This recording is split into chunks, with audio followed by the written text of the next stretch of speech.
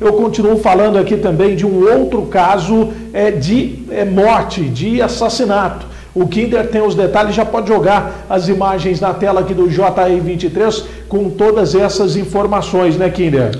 Sim, Samuel Sintra, o policial militar suspeito de matar a tiros um guarda civil após uma discussão por conta de um entulho jogado em um terreno de Barretos, obteve liberdade provisória na Justiça nesta quarta-feira. De acordo com o Tribunal de Justiça, enquanto estiver em liberdade provisória, João Aparecido Camponolo, de 60 anos, tem que ficar em recolhimento domiciliar das 8 da noite até às 6 da manhã e aos finais de semana não pode se aproximar ou fazer contato com testemunhas e está com o porte e posse de armas suspensos.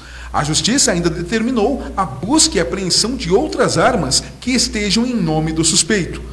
O policial militar matou o guarda municipal Vinícius Santos, de 27 anos, Samuel Sintra. E o que chama a atenção nesse crime é o motivo. É, é, a primeira informação é de que houve uma discussão é, pelo descarte né, de lixo em local inadequado.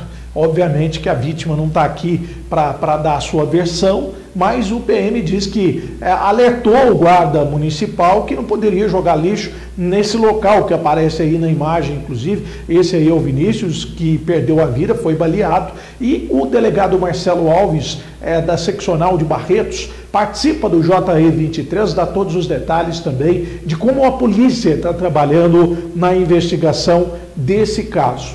Pois não, doutor?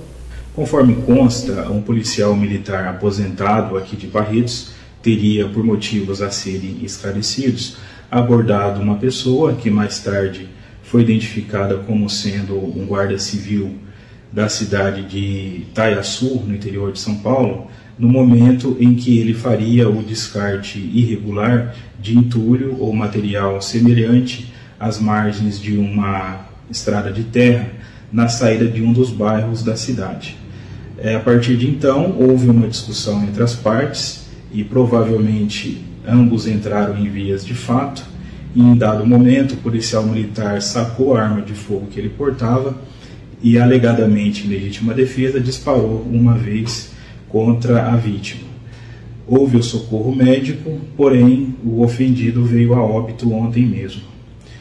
Foi efetuada a prisão em flagrante desse policial militar por homicídio e nesta data, no dia 24 de maio, realizada a audiência de custódia, o Poder Judiciário deliberou pela liberdade provisória do autuado.